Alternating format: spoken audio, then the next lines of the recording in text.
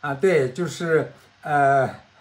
我也来中国，我才发现这中国高考是一个大事儿啊，在美国从来没有这么一个这么关键的日子。哎呀，全国都是呃交通呃各方面都为这个高考呃加油啊！我甚至接到短信，呃，这个联通说是或者呃电那个呃移动说是在高考场场面附近呢有这。这个防干扰的，你到那儿要接不到信号了之类的，啊，就是真是一个呃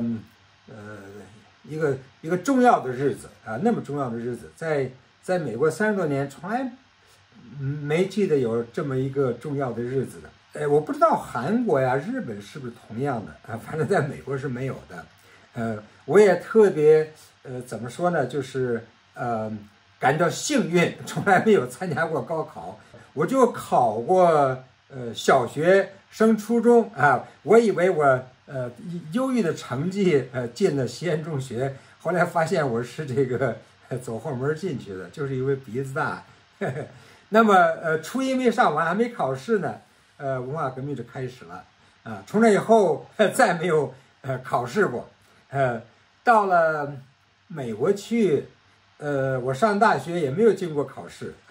我这是。呃，一边勤工俭学嘛，呃，就是一边打工啊，一边呃开始上夜校啊，后来上这个白天的课啊，然后就一一一步步积累啊。那其实美国这方面它是比较灵活的啊。你要是高中生要上大学，人家需要呃几方面的资料，一个你在高中的成绩排名等等啊，再一个有一个 SAT。啊，SAT 呢，那个跟中国的高考类似，但又是很不一样。它呢，SAT 呢，就就相当于智力测验，它是一个呃私人公司，不是政府的。它给这些呃应届呃这个呃呃高中生嘛，给一个考试，但是你可以呃不断的去呃你花钱考啊，你花钱去考，然后还有还有那种专门的培训班啊，培训你怎么去。把这成绩搞好了，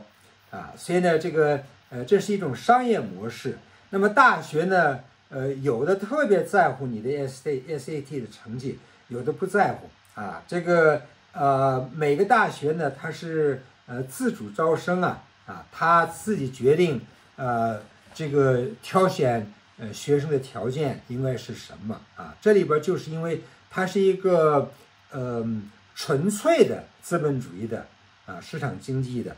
啊，所以呢，大学呢，要么是私人大学，啊，是这个有钱人办，然后呢，学费特别高，啊，或者是呃政府办的大学，那是呃通通过税收呃支撑的。那么呃政府办的大学呢，它名义上还得需要为这个公民啊，就你州的这公民服务啊，所以呢，它还有一些呃。必须要维持一些嗯公正啊、平等啊等等。私人大学呃完全不需要考虑这个啊，人家人家选的呃标准呢呃就是到底是呃你能为我们这个学校将来的发展做出什么贡献？你比如说你是这个呃小布什啊，你是布什家庭的，那么你到我们学校来。啊，将来你呃毕业以后呢，你能给我们需要捐多少钱啊？呃，所以他基本上招的都是有钱人的子弟啊。那有钱人的子弟呢，毕业以后呢，呃，会给这些呃过去的母校啊啊每年要捐好多钱啊。这都是呃一些私人大学的考虑的方案，但是他也会考虑啊，在老百姓里边有才华的人呢。他也需要培养，所以他也会出一些呃奖学金之类的。你像奥巴马就是这么上的大学的啊，所以呃私立大学他没有义务啊保持什么公平啊、公正啊、平等啊那些都没有啊，人家愿意怎么着就怎么着啊，你管不着啊。嗯，所以这是一个呃呃这个美国的这个呃招生的一个标准啊，那。呃，招外国人呢，那就摇钱树啊！哎，你愿意花钱啊？那呃，我们就呃给你呃招生啊。这里边中国人不是有有钱人到美国去想进那些高等学府啊，那人家呃还有一个中介啊，收了好多钱啊，那是收买这个学校里边这个招生办的人，哎呀，那腐败也是挺厉害的啊。所以这里边呢，就是呃，在在美国这种高等学府啊，它还是按市场的规律啊，它不是呃什么公平啊、正义啊这方面呃就谈不上了啊。所以，到底你的这个成绩重要不重要，取决于你是来自于社会底层的，你还是有钱人啊？有钱人呢，人家不在乎，人家认为你这个呃有潜力啊，你是有钱人，你见识面大，所以你有潜力，将来你成一个富豪呢，你能给我们捐好多钱，所以你的呃高中成绩呀。呃，就是不好，呃，我给你补补课都可以啊，那是都是好说啊，呃，但是你要是从社会底层，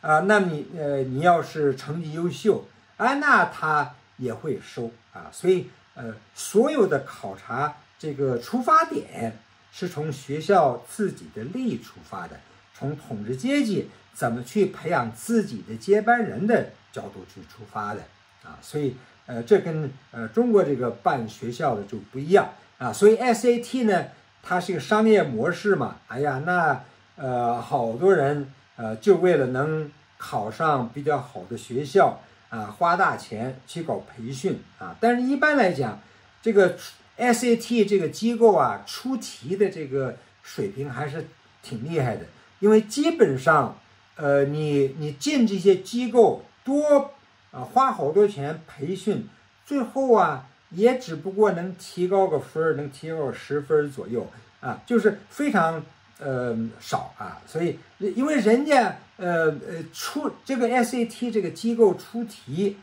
就是要真正的考虑考察你的能力的。哎，你在中学的学的东西啊，呃，一些社会知识啊，人家考你数学，考你语文，考你。呃，其他东西，如果你要是能通过培训班，呃，能把它成绩大幅度提高，那学校就认为你这 SAT 本身是没价值的。这里边就是这么一个规律，就是说你你你 SAT 能被骗了，呃，能能有呃呃绝绝招能上去的话，那你 SAT 的成绩就呃没有价值了啊。所以这是一个呃。呃，就是魔高一尺，道高一丈这么一个博弈的关系啊啊，那我所以呢，我就没有从来没考过 SAT，但是呢，我要上研究生的时候，哎，人家要 GRE 啊，呃，Graduate 呃呃 Record Exam，嗯，然后呢，GRE 呢，呃，我得考，结果我我我考了，对我考了一个数数学的一个经济的。啊，一个兼一个一个普通的啊，就兼容，然后有一个专门是这个经济的，然后那个 Rutgers 招我的时候呢，他看了说我那个 GRE 那个普通那个成绩不高，但是我的经济那个成绩特别高，人家就招我了，因为因为 GRE 你想想，在英语是第二语言，所以人家知道你的英语是第二语言，所以人家不太在乎，呃，你你你这个呃阅读能力啊这方面差一点儿，但是呢。经济上，呃，特别这个，呃，特别好，人家就招我了啊。呃，为经济上为什么好呢？因为我从小，还有就是我一直对经济感兴趣嘛。啊，从毛泽东时代，啊，学这个马列的这个政治经济学，然后到呃这个，呃呃，本科生也是呃学经济，所以这个呃他那些问那些经济上的东西呢，那就是因为你喜欢嘛，你喜欢，所以这不是背的，不是靠。呃，背呀，靠这个，哎呀，背字典啊，或者刷题。你想通过刷题，呃，去呃成绩好，那说明这题出的不好 啊。因为真正出题出的好的，呃，靠刷题是呃不管用的，不管用的。因为这里边他要考虑的是你的这个呃，你的分析能力，你的判断能力啊啊。所以我看现在好多人高考呢，就是靠刷题啊。哎呀，这个这个呃，刷题能上去，就说明这个题出的有问题啊，真的。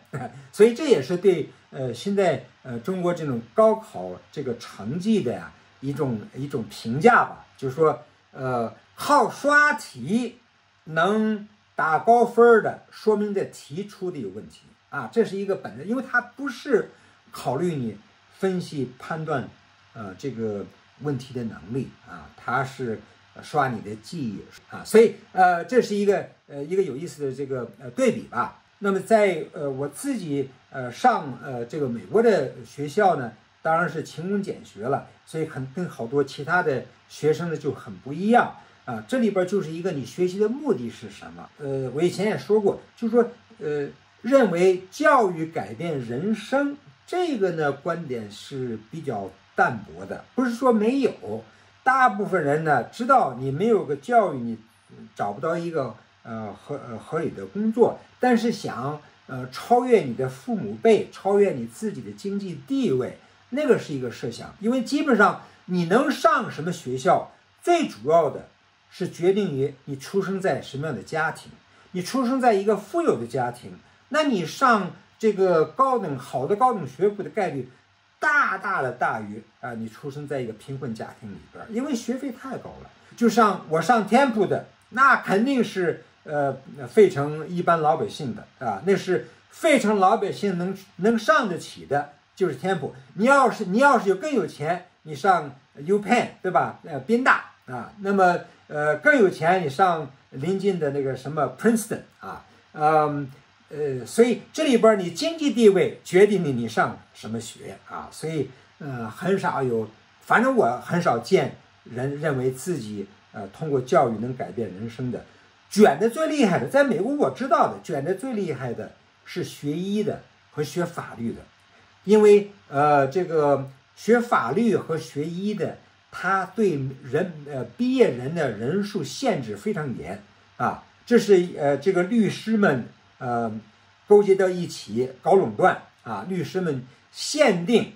啊这一年能有多少人能获得呃律师执照啊。所以他限定了总的人数啊，那你就只好卷啊。那个学医也是，学医呢，医学的里边呢，它这也是呃有这个垄断。他认为一年只允许多少人获得这个医师的这个执照啊。那么这一限定呢，那就肯定卷了啊。其他呃这个科目的所有的其他的这个呃大学毕业的呃研究生毕业没有限制。啊，没有限制呢，他就不需要卷啊。卷的最厉害的就是限制名额的啊，因为那比这个国内的还呃高考还还厉害，那真是，哎，因为呃呃这个学一个方面呢，学医和学法律，他的这个学费是非常高的啊。这些人呢，呃毕业以后呢就拼命啊，那工作时间也是非常长啊。那学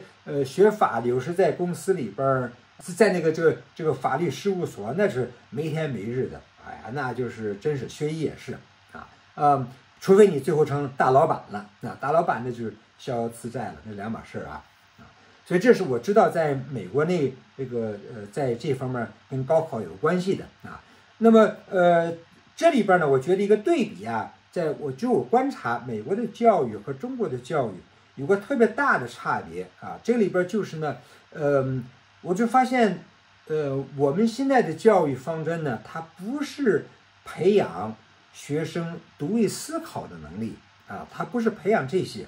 啊，因为呃，真正你看有权有势的人呢，子女啊，现在也不参加高考了，呃，改革他刚开始的时候，呃，恢复高考，那么精英的子弟全通过高考上去了，啊，那慢慢扩招以后呢，呃，就呃卷的就厉害了，因为大家都认为。呃，教育能改变人生啊！结果一卷起来呢，精英的子女呢，就有的时候竞争不过普通老百姓，那怎么办呢？他就不卷了，他就不跟你呃玩了，他就呃到国外去啊，人家有钱嘛，到国外上大学。后来光上大学不行，人家开始从高中就开始到啊国外去上去了啊。所以呢，呃，中国的这个呃他的这种呃。划分呢，呃，就变成了跟美国都不一样。美国就是呃，从你经济地位决定你能上什么样的学校。那么中国呢，就是呃呃，你你经济地位不能把自己的孩子送到国外去上学，那么你就跟着其他一块儿卷啊，就要呃考北大、考清华啊，考这些呃高等学府啊，那就是靠卷。所以呢，结果呢，这种考试制度呢，不是培养学生独立思考的能力啊，它就是呃考的你呀，就是你的记忆呀，你刷题呀，你刷题刷的够了，呃，你的记忆好啊，然后呢，考试那天你的你的状况好，呃，你看导致导导致什么情况呢？呃，比较早期吧，八十年代九十年代，我们这个教育方针呢，把那种呃调皮捣蛋的啊不听话的，像马云这种人刷下去，然后把那些会考试的呃听话的呃特别会刷题的啊培养成马云的雇员啊，所以我们不是培养啊独立思考的人，哎，呃，我就发现我的学生里边也是好多人呢，他是考得好的是什么呀？他一个是记忆好，再一个呢，他呢就是呃猜老师会出什么题啊，他猜得准，那他就考得好啊。他呃，所以呀，老师这个呃，整个就变成一个博弈的关系啊，呃，不是培养学生独立思考的，都是标准答案啊。所以这种应试教育呢，呃，害人不浅。现在也说了好多要改变这种应试教育。但是制度上的东西还是不行啊，还是不行，所以这里边问题还是很多啊。那么，呃，现在的这个呃高考生考完了以后呢，下一步就要学想想自己将来考什么专业。哎呦，我就发现太多的人呢，他不是从自己的爱好，不是从自己的兴趣出发，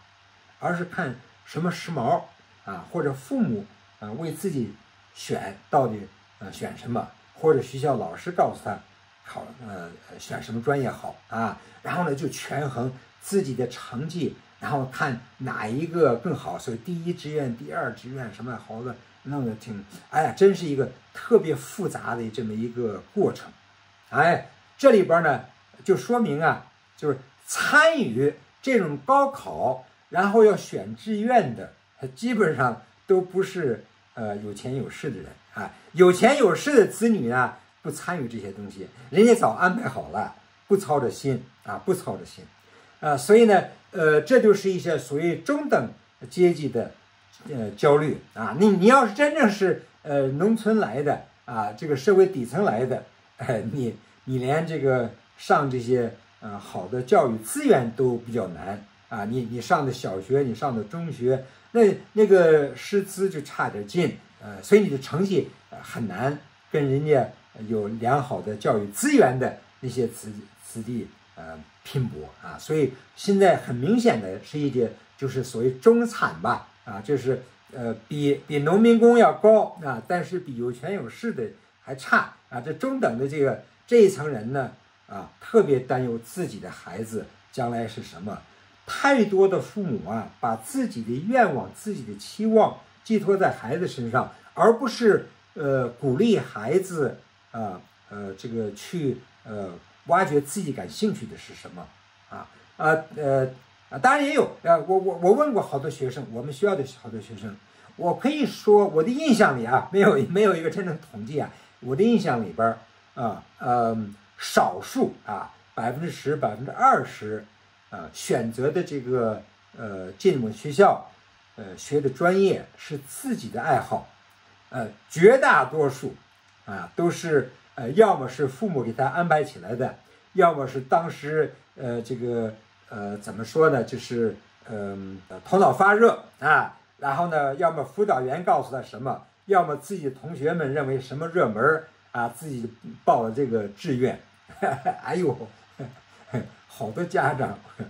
问我孩子应该上什么，我说你你问问孩子他对什么感兴趣啊？真是，哎呀，人们太多的家长啊，呃，干涉真的干涉孩子到底该学什么东西，你你让孩子自己去选择嘛，啊，你让孩子自己选择，他大学他应该是一个。探索啊，自己的兴趣和自己的特长这两个怎么结合到一起？有些东西你有特长没兴趣，有些东西你有兴趣没特长，所以呢，最好一个是选择一个自己既有兴趣又有特长的。所以学校的目的是应该启发你的兴趣，挖掘你的特长。你离开这两点，那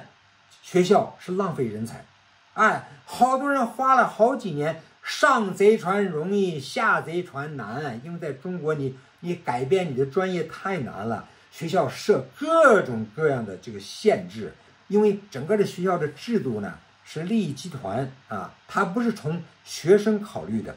而是从自己的势力范围。你看，呃，学校之间竞争啊，竞争这个教育经费，竞争呃这个学这个学生资源，然后呢，学院里学校里边呢，呃，不同呃这个学院之间啊竞争啊，都是一种竞争的关系。然后呢，他们都考虑是，呃，怎么对我这个学院，对我这个系好啊？怎么好呢？就是来的学生多啊。他不是考虑这个怎么样对学生好，不是不是从学生考虑的。哎呀，所以你要真正从学生考虑，那学生要转行业应该太容易了，转校也应该容易啊。啊，不是特别难。所以这个也是跟美国的一个大的差别。我不敢说欧洲，不敢说日本，其他的国家。反正美国那转校啊，那转系，那呃挺容易的，特别容易。那你你只要符合条件就行，啊，为什么在美国是那样子呢？中国不是这样子呢？那就因为美国它是完全市场化的啊，完全市场化的，所以你你你你服从市场的规律啊。那中国呢，它是一个官本位的啊，官本位呢，官员决定啊该怎么搞教育，它不是从学生的需要出发。啊，再加上你想想，在美国那学生是花钱的啊，有钱人的钱特别贵，那当然人家人家花钱，人家就要选择啊。那中国呢，这个学费呢是越好的学校学费越便宜啊，所以人家是给你好多奖学金。实际上，你想，呃，你你的学你的学费其实连恐怕百分之十的学校的经费都达不到啊。这教育部啊给那些好的学校拨了大量的拨款。啊，所以呢，人家拨款给你搞教育，那你就没有那么多选择权啊。所以，在美国，他为什么选择权呢？因为人家花好多钱，有钱人的家庭啊，人家就要选自己喜欢的啊。你看，所以不是说，呃，这个呃，美国的教育它就是好，它是市场啊，市场。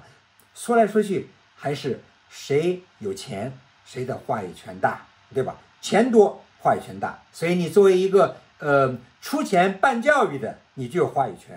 你你是花钱上学的，你就有呃话语权。还是资本主义的规律啊，谁的钱多啊，谁的话语权大。呃，但是毕竟我觉得学生呢，还是应该更多的考虑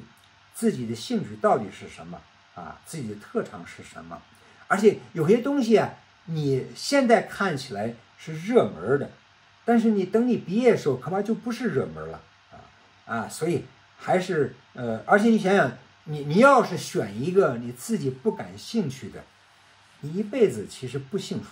啊。你要选一个自己感兴趣的，哪怕收入少，在今天真的今天很少有人是饥寒交迫啊。那么你只不过是挣钱不如人家多，但是你从事自己喜欢的，那本身就是一种回报啊啊。所以我觉得最好最好的。还是应该把个人的爱好和人民的需要结合到一起啊！人民的需要是什么呢？就是考虑不光是自己的，考虑整个社会人类人类的前途，对吧？你说怎么去把自己的命运和占人口绝大多数的打工人的命运结合到一起？所以呢，这里边呢就把自己的爱好啊和这个呃将来。对社会的影响等等啊，当然有民族主义的呃那种呃思路啊，有这个精英主义的思路啊，然后呢有这个各种的，但是呃从马列毛主义来讲，那么你说我这我学了这个，将来对人民有什么好处啊？所以这里边呢，呃，我觉得呃是需要呃年轻人要要花点功夫想一想的啊，所以呃起码你得学自己感兴趣的吧。多了咱也不好说，好吧。